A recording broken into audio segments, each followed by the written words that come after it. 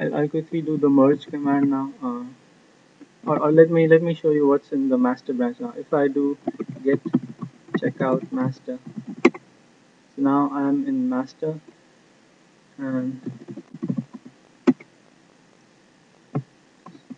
yeah, so in my master branch, that that line that I deleted, it's still there. So if you remember, I I, I created that branch and I deleted that line but in, in my uh, master branch it's still there. So I can bring those changes into my master branch by doing git merge and then the branch name. So it was my branch. In this case, it was a it was a fairly trivial change. So git does it automatically for you. And anything like this, it will handle just fine. And, now if I if I look at the source code file, now it, it's it's current with the branch with all the changes in the branch. And in the diagram, we see that the master branch and my branch, they point to the same uh, commit. So everything is synchronized. And uh, once uh, once you've, you've done the merge, you can just delete the branch if you don't want it in the history, but it's, it's your choice. And uh, now, this was all local when you're working alone. What if you want to work on create um, you know a, a repository, a shared repository that you want to work with friends on? So you can create a free account on GitHub, and then just follow instructions to create a new repository. So I'm, I'm signed into my account. I just say create a new repository and just give it a name. Optional description is public. If you want a private repository, you're gonna have to pay. So I'm just gonna do this create. What this will do is just create a, a blank repository, something similar to doing git init on your machine. So they did something like this on their machine. They created a blank repository. And now what you're going to do is you're going to connect your repository with their repository. So, uh, I'll go back. So this is this is the command that makes that connection. So all, all remote versions of the repository they are called remotes and each remote has a name. And by convention, the main like the main repository is called origin because uh, they say that that's where you say you, you clone somebody else's work. So that's that's the origin of your work, and now you're gonna communicate. You're gonna refer to that repository as origin. You can create another one with a different name and synchronize all of them. That's uh, that's how you do it. And GitHub gives you a URL for a repository. You just paste it here. And this statement would add the repository and the push command would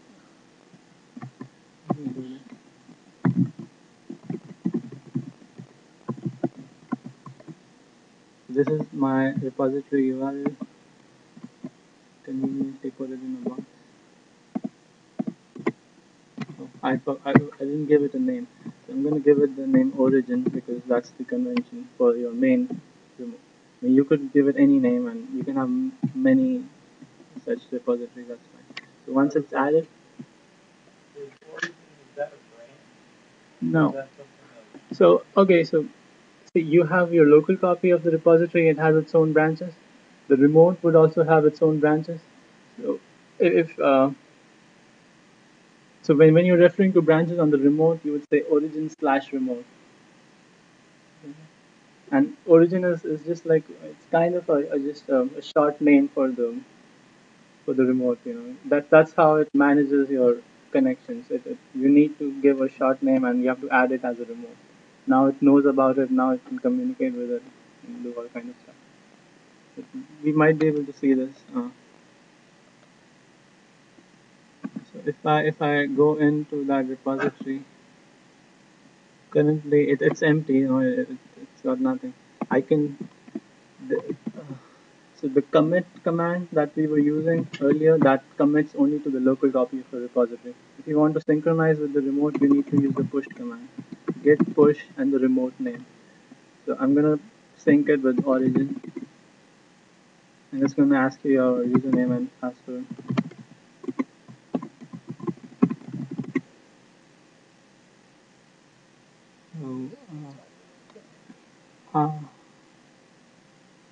Oh yeah, I need to specify the branch name. So I, I'm on the master branch in my local repository. I need to specify to which branch I'm gonna commit to on the remote, and it has to be the same, uh, or a new branch. I mean, uh, I'm not I'm not sure on that, but yeah. So you have to specify which branch on the remote you're gonna commit to. Is there a way to push all branches? Uh, push all branches. Mm, Hmm. I don't think so. I mean, I, I was there was some kind of an upstream option, but I, I'm not 100 percent sure how to use it. If Let's you know. So now, yeah. So it compressed the file. All. Okay. All right. Okay. So there is a switch to do that. And now if I reload my repository, so here is my source code. And now the other developers can just take this URL and clone this repository on their machine and they'll be able to access the code, make changes to it, publish it back here.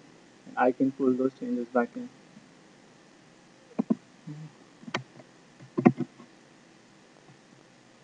So yeah, like I was saying, remote is just like an alias for the remote repository. You can have multiple remotes, and some people uh, create a remote on a, on a removable disk for backups. So you just you have your own like repository backup system, and uh, pushing updated the remote repository. Uh, so what your friend, your other developer is going to do is he's going to create a, a GitHub account for himself, install uh, MSys Git and everything on his machine, configure it with the username and email. But he doesn't have to create the repository. He's going to copy, clone the repository that you have on Origin. And, the thing is, since it's a public repository, anybody in the world can clone your code, the whole repository with all its history. Uh, but they cannot write changes back to it. They will not be able to issue the push command.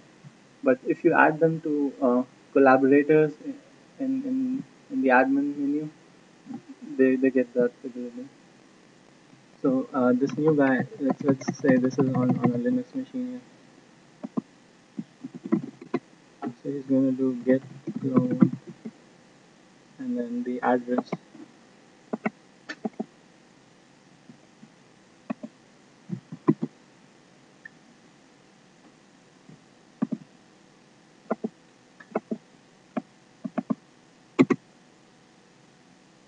So it didn't even ask for my password because for reading a public repository there is no access. But you have options for that. You know, this is just because it's free. That's why you you're not allowed. And if I go to that folder, so the source code is here, and I can do git status, and I can do git log, and I can see all the changes that I made from that machine. They're right here. You know, each and every piece of history. Um, so what clone did was it, it automatically added, uh, you know, we did that, we added the remote named origin. The clone command kind of automatically does that for you. It creates that origin and points it to the URL that you specified. And if you don't like entering your password, there's an option to cache. Uh, I don't know that, and you can also upload your public key to your GitHub account. Then again, it, it doesn't ask for your password anymore. So I can uh, maybe make a change to the hello world file again.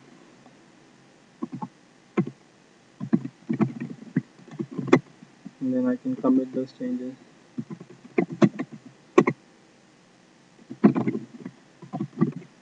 But uh, I won't be able to push it yet if I try to do this. I mean, and I have another account uh, I just made for this.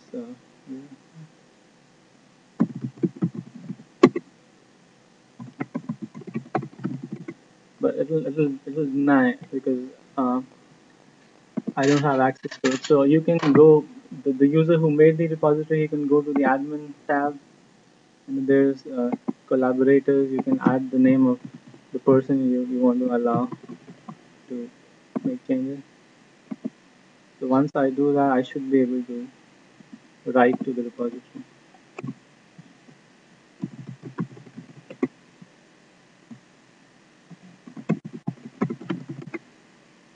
Now it was able to push that change and if I if I refresh if I go back to the repository. So uh, you can see the the change made by the other user is here. And now on my Windows machine I can I mean my code is still what I had before. If I want to see uh, pull in those changes there's this command git pull origin. It's, it's it's going to connect to the repository and and it has updated all the source code files if you look. Uh, oh, again. Okay, I should specify the branch too. So I want to pull the master branch. And it says that the file hello world.cpp was changed and here, here is the change. This is how you would just keep on doing those things. And um, in most cases, you'll be working on separate functions. There won't be any conflicts. But if for some reason you both decide to work on the same lines, then uh, Git is going to uh, say it, there's a merge conflict, and it'll it'll keep code from both of you and put special markers on those lines, and then you can go back and manually fix those conflicts. So on the remo on the Linux machine, I made some changes, committed them to my local repository, then I pushed them to GitHub. Then on my Windows machine, I, I, I was able to pull those changes back. There's another command called fetch. Again, it's not nothing to uh, worry about too much. If you're just doing some basic synchronization stuff, you don't have to um, worry much about that. But fetch downloads the remote repository into your local so your your local repository is up to date but the the source code files that you have it doesn't change them for you. You have to I mean you decide whether you want to include those changes in your working copy or not. So that's something you might you might want to do. But I think most of the time you end up using pull and like I said you can have more than one uh, remote. So there's my local local branch with the local master the origin branch may be on GitHub and that has its own master. And I have another remote called this and it has its own master. With that. And uh, we can see that this is like two commits you know ahead. So you might want to update your code by pulling that that repository. And it can be any location. It could be a backup drive and uh, now, uh, if you don't want to use GitHub, you want to um, do your own uh, server, like you have, you don't want to pay or and you still want a private repository, you can uh, on a Linux server in which all of your collaborators have access, you can create a bare repository.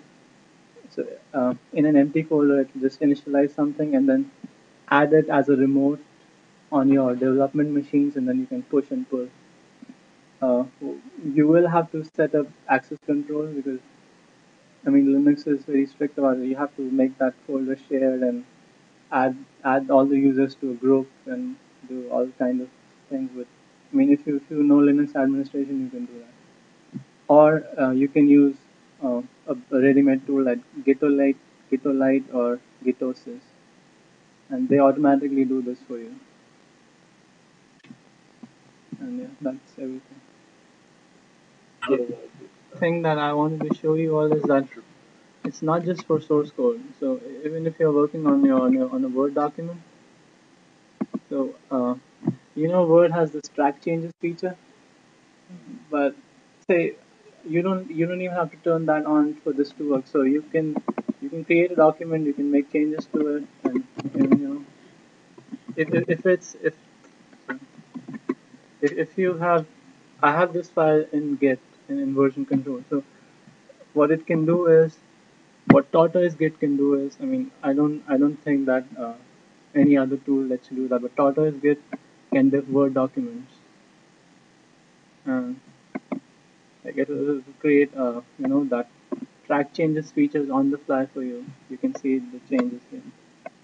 I added this new line here. You can see that. So, like if you're working on your thesis and you want to, uh, you know, or like you're writing a book, you can put that on version. I mean, you don't have to use